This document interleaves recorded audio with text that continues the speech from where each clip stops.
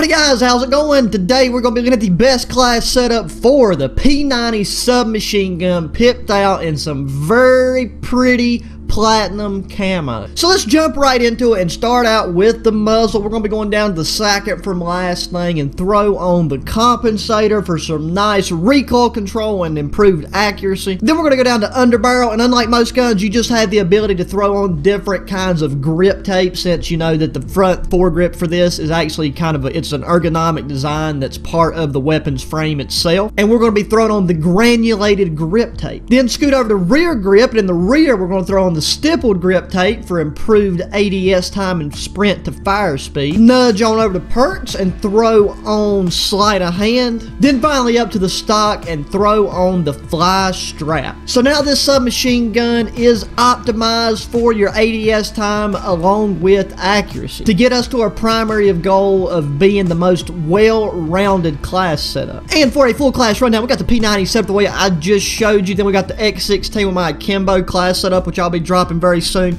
Then for our perks, we got EOD hardline and shrapnel. For lethal, we got a frag grenade, and in our tactical spot, we got a flash grenade. Okay, okay, hopping in some Atlas Superstore Hardcore Free For All. Now, this is a map that I mean I've actually come to love for these free for all matches, and I think will be a great way to really showcase this P90 in its full glory.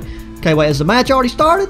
Oh my god, it has already started. We got somebody up four kills. So you know what? We're going to have to do something about that and, uh, and, and just take that top spot because that's where we belong, baby, on top of that leaderboard. I thought, did we just get killed by the top guy too? We sure did. Got killed by old Duff. Okay, so now the P90 is a very, very uh, accurate submachine gun. You got a lot of ammo, the 50 round. You can't get an extended mag though, but I mean, really, no matter what game mode you're playing, you don't really need uh, need anything else. So um, like I said, we got the compensator and stuff on here, and with that front grip tape and the rear grip tape and everything that we got on here, you can make it more accurate, and you can also improve your ADS time a little bit. I don't know what that guy was even, I don't even want to know what he was thinking right there, but it clearly wasn't well thought out. Okay, so now we got two kills, so we got somebody trailing us by four, but we joined in late. We're going to pop him in the back of the noggin with it. That still kind of counts as, you know, the gun itself, I guess, since we hit him with it. Got that. Nice. Four kills. Still leading by three. That guy's getting them just as fast as we are. So now, getting a VSAT or any type of aerial score streak on this map, there are large windows so you can still pop people, but uh, it's not, you know, you're not going to be dropping bodies with it like you would on a map that was more open. So let's see if we can get this guy to cut out in front of us. I think we can. Oh, yes, sir, we can. Nice, nice. We, we're probably going to end up getting that VSAT one way or the other. Oh, he just spawned there, and that guy, he'll probably try to push in here. I haven't been paying attention to my reload time yet for this gun. I, I mean, how many rounds I've shot, and if I need to reload. Oh, yeah. Oh, no, no, he's seen us, he's seen us. Was that Duff again? No. Okay, so Dust one leading us. We're 7 and 3. He's 8 and 2. Okay, I think he, he had to have got shot from the side over there, so let's just chunk some grenades see if we can get a lucky kill. Man, everybody on here right now that we're that on this map is just like posting up somewhere and waiting for you to run in front of them. But I mean, that's just uh, that's something you run into in any game mode on here, but especially free for alls or uh, or hardcores. And I mean, somebody puts a claymore there and expects you know that somebody will be up there, and obviously we had to just be at the wrong place at the wrong time. But now, not having a, a, green laser on this does give you the ability to pre-aim more, and pre-aim uh, is a great idea, even though that, you know, we tried to optimize our ADS time. So, you know, we're not trying to get full-on engagements. Now, with this, like, we're mainly going to be just doing our sprint to fire from the hip fire position anyways, where we're playing, you know, hardcore. Uh, and like I said, I've, I've said it in my other videos, but just in case this is your first video, be sure to let me know if uh, you'd rather see me play core with these setups, because core is my preferred uh, game mode to play regardless. It's just these, playing hardcore, you can actually get these camos done a lot quicker. So that's why I'm doing it this way. Uh, and it's hard for me to transition from hardcore to core just for the sheer uh, purpose of doing, showing the video and showcasing the class setup itself. Um, so I mean that's why that I'm I'm playing hardcore in these matches because that's what I'm currently warmed up to and uh, comfortable playing for showcasing these things. Now, I, man, these, this guy right here in front of us, he is just getting kills right along with us. And I'm worried that my UAV is going to run out right here at the end, and I'm going to need it to, uh, yep, right there it is. Got that. Nice little wall bang through that. Let's see if we can catch somebody out of spawn back here. Nice, perfect. See, that's the thing you gotta do, man. You gotta read these spawns whenever you're playing hardcore free for all. Okay, well, just free for all in general, but especially on hardcore free for all because if you don't catch it, somebody's gonna catch you out of spawn, and that's just how it goes. But yeah, me and this guy Duff right here, we're neck and neck, just pushing on through. Let's see if we can catch him with a stun over there. Nope. Nope, we got Duff right there though, so that puts us one kill in front of him. And I almost guarantee somebody's going to spawn out back here again. Oh, and it was Duff, dude. Like, me and him, we're just two, the two uh, top players right here, just leading back and back. He might try to go upstairs. Somebody's up there.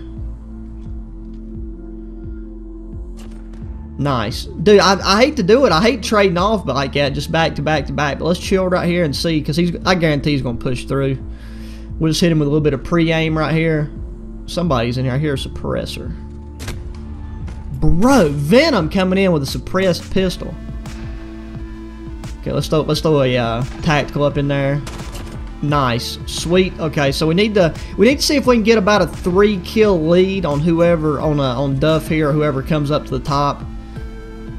Just because that will give us a bit of a cushion, you know, so we ain't got to really we ain't got to grind for this top spot as hard, and that way near the end of the match it won't be, you know, teeth on teeth, neck on neck kind of situation. Bro, I love it. I love it when people just wait right there and, you know, kind of sound whore to see, uh, see who's going to push their way. Yeehaw Paul gave, giving it to us with the old X16. Thank you, Bouncing Betty. Okay, let's not camp, but I guarantee whoever put that Bouncing Betty is going to try to push up these staircases right here and come, uh, come claim the kill if that thing wasn't quite able to get them. There we go. I'm guessing it was Yeehaw Paul's. But that is a good place to throw a bouncing Betty, though, because people uh, normally try to swing up to that window right there and, and snag some kills one way or the other. People aren't really favoring that right side right there like they normally do, which is surprising to me. Everybody seems to be pushing off to this back area right here. So we got Duff. I, I think people have the ability to spawn in that break room right there. So you got to watch that whenever you're pushing through this area. Okay, so he's got a two kill lead on us now